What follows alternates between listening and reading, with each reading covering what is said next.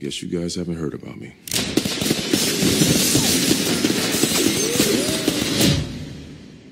I'm about sick of always having to buy new clothes. King of the town, yeah, I've been that.